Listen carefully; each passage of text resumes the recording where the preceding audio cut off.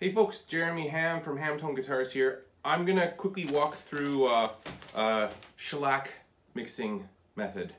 So if you want to learn how to French polish, uh, this is a good time. We uh, we've got time for it right now. So I've got a, an empty Grolsch bottle. I like it because it's got this nice, nice snap lid.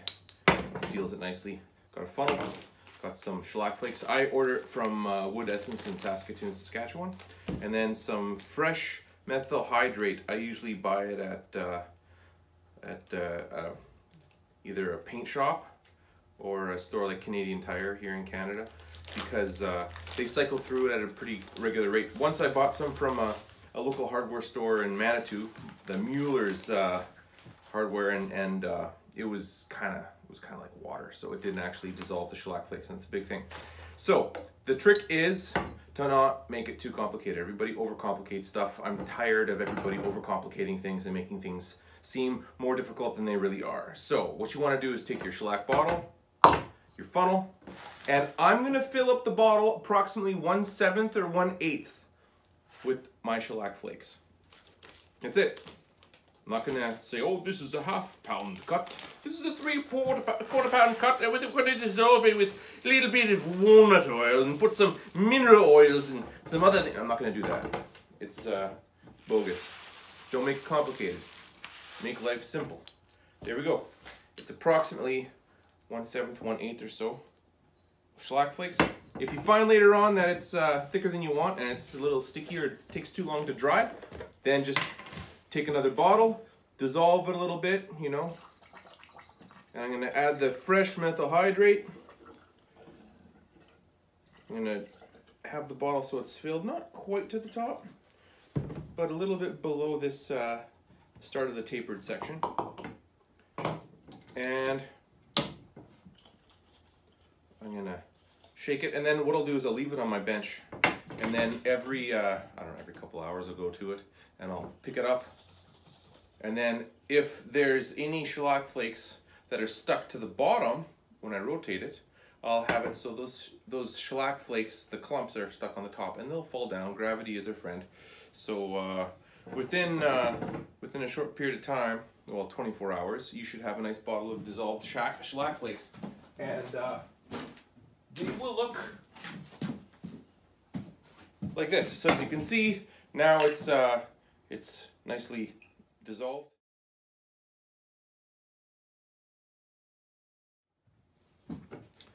So this is a bottle of shellac that's been sitting around for a little while, you know, a week or three or whatever.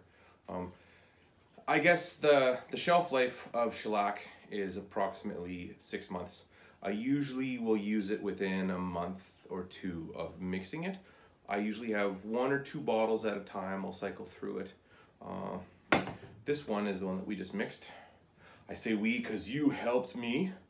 And uh, I can see, if you look closely, I don't know if it's zooming in there, but it's kind of got a cloudy haze at the bottom.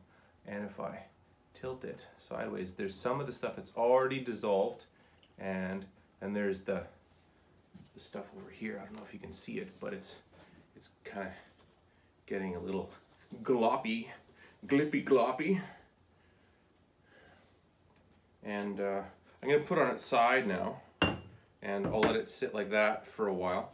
I'll come back to it in maybe an hour and I'll, I'll give it a little shake and see what happens. So now you can see that it's actually dissolving quite nicely. It's dissolving pretty quick. There's still the flakes at the bottom. But what I'm gonna do is give it a little shake.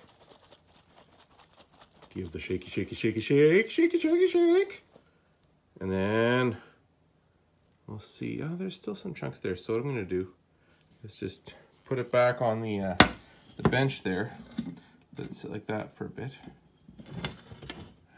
Hopefully it won't roll around. And uh, yeah, that could even be ready in uh, a few hours. What you can do if you want, you can strain it through a cheesecloth or a coffee filter. Um, I find that most often you don't even need to do that.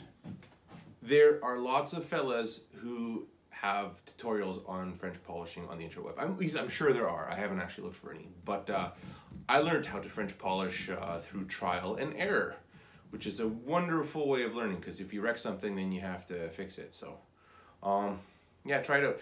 If you want to do a, a, a kitchen uh, tabletop, like or, or a dining room table, like my table at home, I got to redo it, and I guess uh, never a better time than now. Uh, the nice thing with shellac is it smells really good. It's got a nice, gentle, sweet odor. Uh, it's uh, if you lit a match to it, it's methyl hydrate. It's like setting a match into some some Everclear or something or vodka, whatever. Uh, and you can use Everclear as well. It's great, but uh, the problem with Everclear is you're more inclined to drink it than methyl hydrate. So if you use methyl hydrate, you'll be a more sober person, as a result, you also do a better job with your work. Never drink shellac mixed into Everclear. That would just make you blind and kill you. Probably clog up your heart or something bad. I'm not a doctor, I don't know those things. Just don't drink Everclear with shellac mixed in it. Don't drink shellac. Use it for finishing. It's a good idea. Um, I like to use shellac for the purpose of sealing wood. Shellac is a fantastic diplomat. So let's say you wanna you wanna spray lacquer either with a waterborne or a nitrocellulose uh, finish you can actually uh, seal the wood with shellac. It gives it a nice amber tone and then you can scuff it up with steel wool or Scotch-Brite pads or you know 320 grit sandpaper, get it all smooth, and then you can spray the the waterborne or the nitrocellulose lacquer over top of the shellac, and uh, it's a wonderful way of sealing it. And because it's cut with alcohol or the shellac, shellac flakes are dissolved into alcohol, it uh, doesn't raise the grain as much as a waterborne uh, sealer does. So it's, it's a really good way of uh, sealing your project before you're finishing. And uh, hand applying with a pad, which I'm not going to demonstrate, is a, uh, a, maybe I will at a later date, but not right now. It, it's a great way of finishing because you don't have to worry about having a ventilation fan to to clear any mist that might be in the air that you might breathe in and damage your lungs with. So yeah, anyway, that's my uh, quick shellac mixing video. Thanks, have a great day.